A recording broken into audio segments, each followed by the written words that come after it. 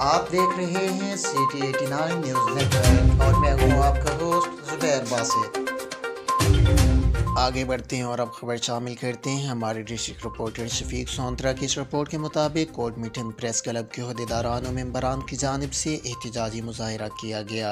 शुरा ने साफियों का कत्लेआम बंद करने के बारे में प्ले कार्ड्स उठाकर नारेबाजी भी की। अरशद शरीफ के लवाहकिन के साथ इजहार अफसोस किया गया।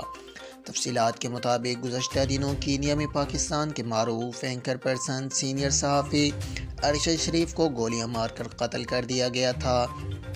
जिस पर पूरे पाकिस्तान की सहाफ़ती बरदरी में गम गुस्सा पाया गया और मरहूम के साथ होने वाले जुल्म के ख़िलाफ़ मुख्तलिफ़ शहरों में रैलियाँ और एहतजाजी मुजाहरे किए गए।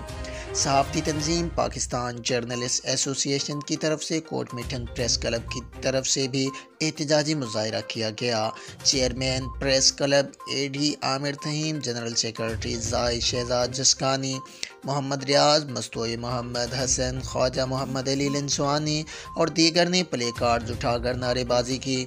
और हकूमत वक्त से मुतालबा भी किया गया कि सहाफ़ियों के साथ होने वाले जुल्म सितम को बंद किया जाए सहाफ़ियों के कत्लेआम को ख़त्म किया जाए और अरशद शरीफ के कातिलों को गिरफ़्तार करके करार वाकई सज़ा दी जाए।